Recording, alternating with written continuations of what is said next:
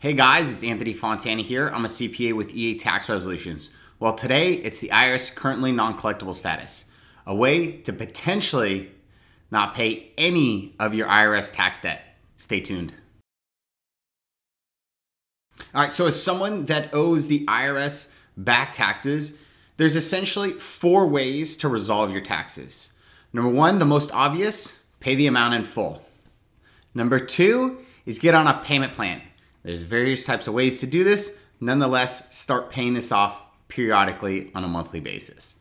Number three is what we call an IRS offer and compromise, or better known as like a settlement with the IRS. You've probably heard these commercials before, settle pennies on the dollar and such like that.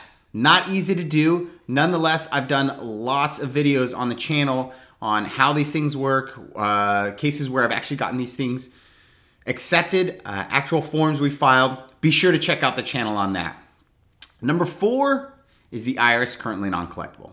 All right, so what is the IRS currently non-collectible status? It's just as it sounds. The IRS will not collect on you. They're not going to garnish your wages. They won't levy your bank account.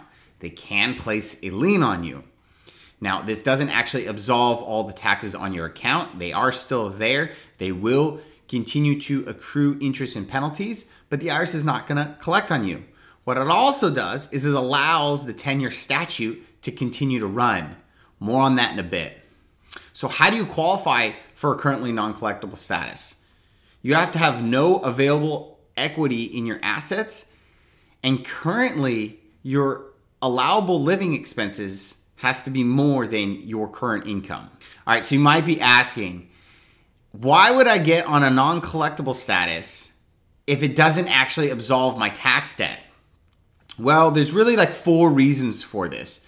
First and foremost, if you remember what I said earlier, in that this currently non collectible status allows the 10 year statute to run, this is like the big one here, okay? So if we're close to that CSED date or collection statute expiration date, I got a video on explaining what this is, but essentially it's the 10 years that the IRS has to collect on your debt.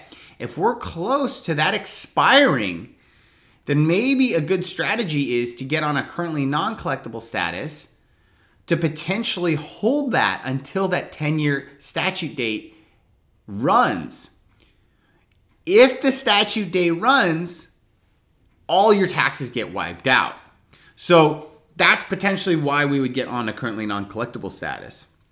Number two is you would say maybe we shouldn't, why would we get on a currently non collectible status if maybe we qualify for an offer and compromise? Well, one of the key things that may get an offer rejected is something called dissipated assets. You essentially got rid of your assets within the last three years before you filed an offer to qualify for the offer. Maybe you gave money, all your money to your daughter, and you're like, oh, now I can qualify for an offer. The IRS is going to say, no, that should have uh, got paid for your tax debt. You're not going to qualify for an offer. So maybe what we can do is get on a non-collectible status until that three years uh, goes by where you got rid of those assets and then qualify for an offer. Number three, we get on a currently non-collectible status because potentially you're not in compliance uh, with taxes, i.e., you haven't filed all your tax returns. In order to get on a payment plan or an offer and compromise with the IRS, you have to be compliant with your taxes, i.e., file all your missing returns. So if you need some time to get your records together in order to file those missing returns, a currently non collectible status is a good option. Another reason why maybe we would get on a non collectible status is maybe you qualify for an offer and compromise, but you haven't made all your obligations for tax payments. One of the big things to qualify for an offer and compromise is that, hey, you're going to be paying your taxes moving forward.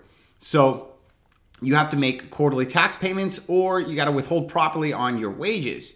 Now, if you didn't do that this year, then maybe we get on a non collectible status until you can start making those payments. All right, so maybe you determine, hey, the CNC or currently non-collectible status is a good option for me. How do I get on this? All right, so you can either get on this by actually filling out and filing a 433F like you see here on the screen or the 433A, kind of the same thing, okay? Or you give the IRS a call to the collections line. I'll include that phone number in the description below. And you kind of go over the 433A or F with them over the phone. Now, I would recommend that, yeah, you give them a call and you do it over the phone. Once you get off the phone, you should be able to know that you got on the non collectible status or not. So that's why I would say you give them a call. But be sure you fill out these forms first before you give them a call. So when they kind of go over these things, you already know what to say. Uh, be sure to use also this uh, collection financial standards page here uh, to help you fill out the allowable living expenses, right? IRS allowed this part here, or the 433A if we take a look right here, right? The expenses are on this side right here. Okay, make sure you use this this page here to know kind of how much you can uh, input into that expenses that can help you qualify for the non-collectible status or not. Well, I hope this video was helpful for you guys. Please subscribe, like the video, share this with anyone you think it would be helpful for, or in the comment section, uh, throw something in there that you think maybe I can cover at a future date. I really appreciate you guys. Thank you so much.